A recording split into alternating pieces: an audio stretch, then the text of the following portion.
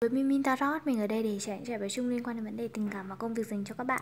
Đây là những trải bài chung chính vì vậy đón nhận thông điệp một cách cởi mở nhất. Ngày hôm nay thì mình đem đến một cái chủ đề ngắn ngắn đó là một cái thông điệp ngắn ngắn nho nhỏ dành cho bạn à, ngày Valentine. Thật ra thì nó không liên quan gì đến ngày Valentine đâu nhá. Thế là hôm nay mình muốn làm một cái thông điệp ngắn ngắn thôi. Ok, chúng ta có ba lá bài, 1 2 3. Um, ok và chúng ta sẽ đến với lá bài đầu tiên nhé Xin các bạn đến với uh, lá bài đầu tiên đây là uh, tụ bài chung chính vì vậy đón nhận thông điệp một cách cởi mở nhất và không phải là các bạn sẽ nhận thông điệp đúng với hoàn cảnh của các bạn.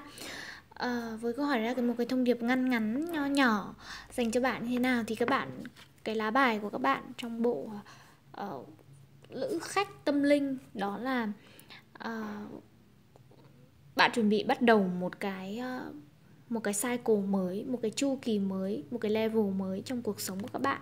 Và mình thấy ở đây á, mình cảm nhận được rằng là những cái lá bài ở đây nó, giống như là nó nó nhắc nhở bạn về một cái ờ, một cái giai đoạn mới trong cuộc sống của các bạn mà ở cái giai đoạn đó ấy, có thể sẽ có những cái đấu tranh sẽ có những cái cãi vã sẽ có những cái xung đột. Và cái điều này nó là cần thiết để nó giúp bạn trên cái cuộc hành trình này trở lên ngày càng hoàn thiện hơn trưởng thành hơn. Và nó có thể liên quan đến à, một cái sự khởi đầu mới liên quan đến công việc tiền bạc tài chính à, hoặc là bất kỳ điều gì. Ở đây thì nó rõ ràng là ờ, liên quan đến ờ, có thể là công việc tài chính rồi. Và ở đó thì trong cái môi trường mới này trong cái giai đoạn mới này nó yêu cầu bạn đó là hãy giống như là hãy uh, uh, tìm cái sự thỏa hiệp. Trong những cái sự cãi vã này thay vì suốt ngày tranh cãi các kiểu ấy thì hãy tìm ra một cái giải pháp nào nó nhẹ nhàng nhất. Và ở đây sẽ mình cảm nhận được rằng là cái điều mà bạn cần làm á đó là hãy luôn luôn lắng nghe trực giác của bản thân và giữ cho mình một cái đầu lạnh. Bởi vì khi mà bạn các bạn nóng tính ý, uh, rơi vào cái trạng thái cãi vã mà thì nói chung là ai mà chẳng muốn hừng hực lao vào chiến đấu. Nhưng mà khi mà các bạn giữ được cái đầu lạnh uh, lắng nghe trực giác của bản thân ấy tìm cách thỏa hiệp trong những cái tình huống khó khăn như thế này ấy uh, thì các bạn sẽ vượt qua được và các bạn sẽ có được cái chiến thắng cho bản thân à, đó cũng có thể là một cái chiến thắng của một đội nhóm trong một cái đội nhóm của các bạn. Và mình cảm nhận ở đây một cái thông điệp nữa một cái điều nữa đó là các bạn ấy trước khi mà nhìn nhận một cái sự vật sự việc nào đó ấy, hãy đánh giá ở nhiều góc độ và thu thập đầy đủ thông tin trước khi đưa ra một cái quyết định nào đó nhanh chóng.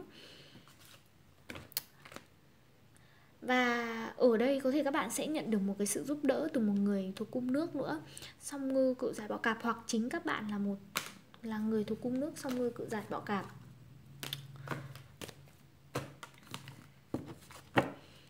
Đợi mình một chút, mình sẽ xem thêm.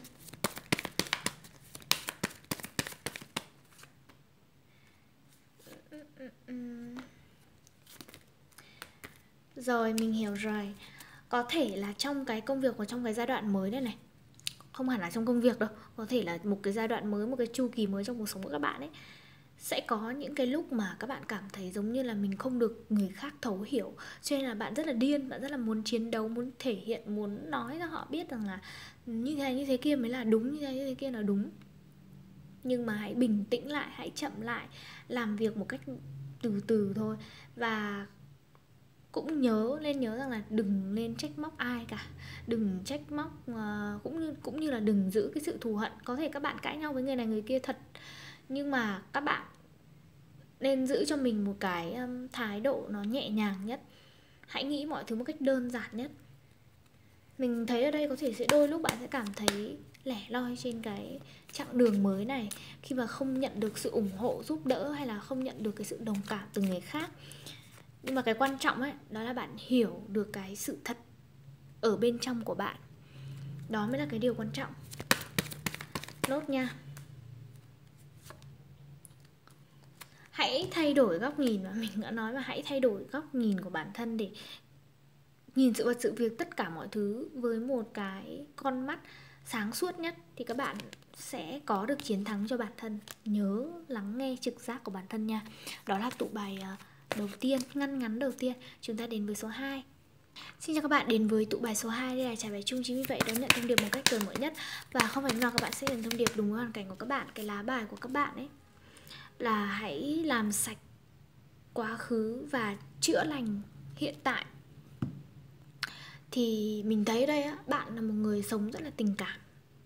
Cực kỳ là tình cảm và nhiều cảm xúc. Các bạn có Queen of Cup ở đây Có thể bạn là người thuộc cung nước nữa. Xong rồi dại bò cạp Nhưng mình thấy đây bạn là một người sống rất là tình cảm hay giúp đỡ mọi người. Nhưng mà mình thấy là bạn cũng có những cái tổn thương nhất định ở bên trong bản thân các bạn. Nó có thể đến từ đứa trẻ bên trong từ gia đình của bạn từ một mối quan hệ hay là bất kỳ cái điều gì trong cuộc sống. Cho nên cái lời khuyên cũng như là thông điệp dành cho bạn đó là hãy làm sạch hãy làm sạch quá khứ và chữa lành hiện tại uh, cả về thể chất và cảm xúc hãy xóa đi những vết thương cũ và giải phóng những cái ờ, tất tất cả những cái nỗi đau cũ. Tất cả rồi sẽ được tha thứ. Hãy giải phóng cái cũ để có thể phát triển được những cái mới. Có thể là sau những cái tổn thương trong cuộc sống mà các bạn phải chịu đựng ấy thì bạn trở nên thu hẹp bản thân mình hơn. Bạn nhìn thế giới với ánh mắt phòng thủ hơn với những cái gọi là ờ, uh, đúng như là bạn dựng rào lên như cái chín kiếm ở đây này đầu thì băng bó tay thì cầm gậy lúc nào cũng phải lo sợ rằng là phải làm như thế nào để bảo vệ bản thân như thế nào để ờ, để bản thân không bị tổn thương một lần nữa. Thì mình thấy là bản thân bạn ấy bản chất bạn là một cái người rất là uh, rất là giàu tình cảm rất là lúc nào cũng đong đầy yêu thương. Có thể bạn còn thừa những cái nỗi mà bạn muốn cho đi thật là nhiều tình yêu thương với mọi người nhưng mà đến thời điểm hiện tại ấy, thì bạn đang phân vân giữa cái việc là có nên thu mình lại không? Hay là tiếp tục giống như là thể hiện tình yêu đối với thế giới với mọi người xung quanh?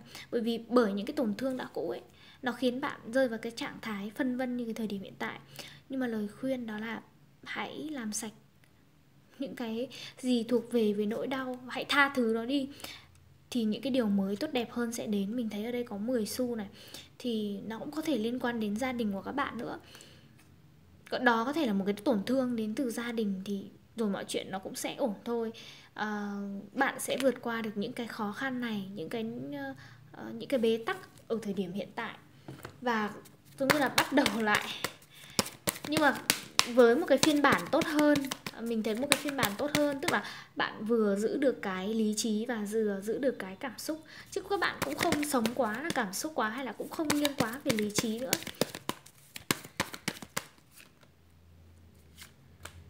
Ờ, mình thấy là sẽ có một cái điều gì đó khá là tốt đẹp đến với cuộc sống của các bạn. Đó có thể là một cái sự đầy đủ uh, trong gia đình đầy đủ về tiền bạc tài chính sự uh, hài lòng về cuộc sống này chẳng hạn và bạn được ban phước lành.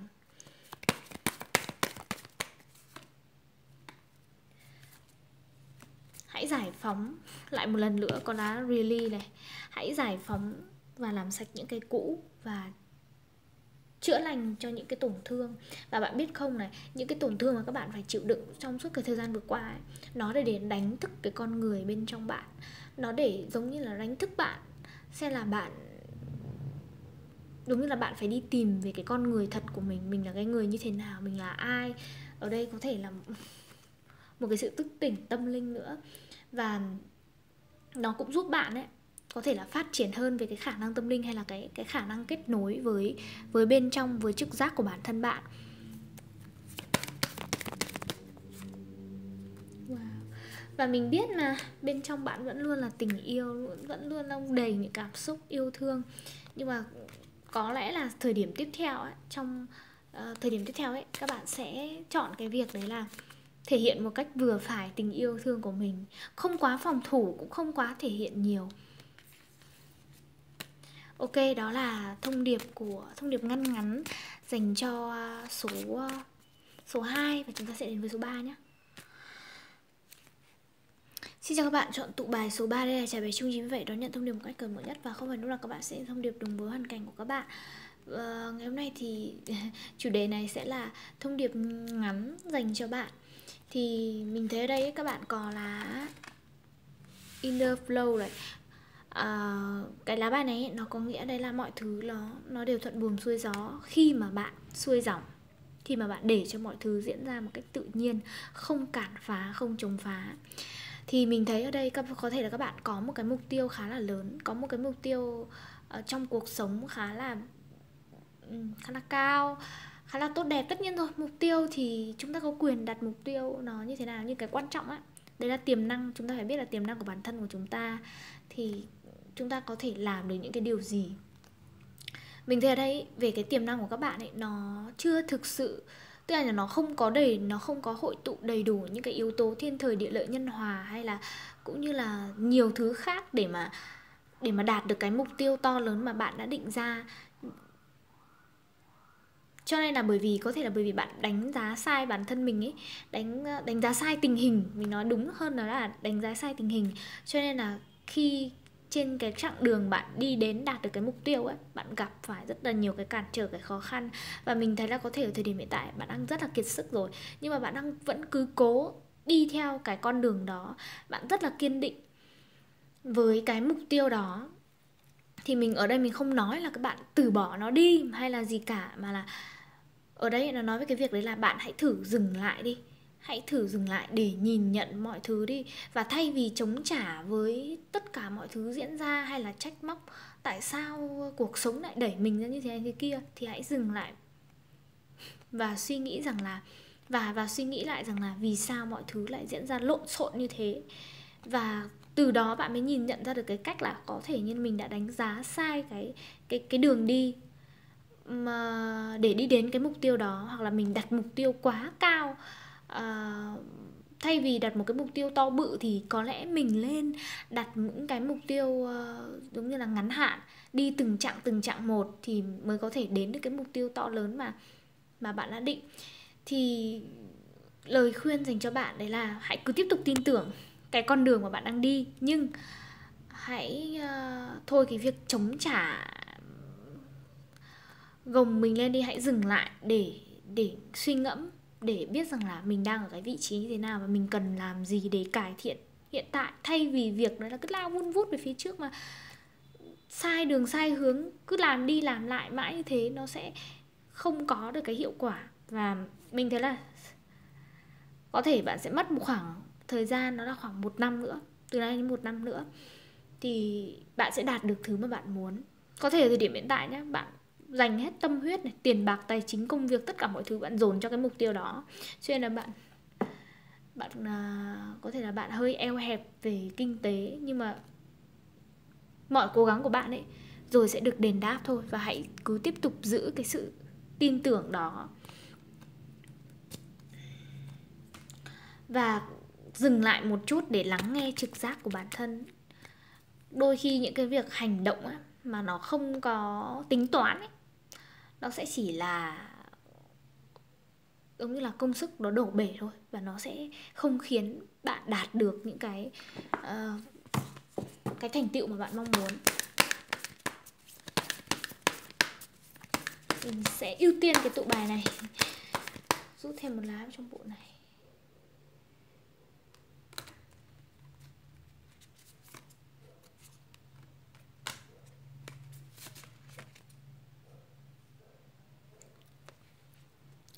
các bạn có go slow take time này hãy đi chậm lại. Thay vì việc tiến mạnh lên phía trước thì hãy đi chậm lại. Và để cho mọi thứ nó nó được diễn ra tự nhiên nữa. Nó cũng giống như cái việc đó là khi mà bạn đã gieo quả rồi ấy, thay vì bạn cứ tác động này kia này nọ các thứ vào cái này cái kia ấy hãy uh, hãy để cho cái thời gian nó cái cái cái cây đó nó được nảy mầm rồi nó được ra hoa rồi nó còn ra quả đúng không? Ok đó là tụ bài số 3 à, đó là những cái thông điệp xương xương của ngày hôm nay. Cảm ơn các bạn đã lắng nghe nhấn like và đăng ký kênh của mình nhé. Bye bye.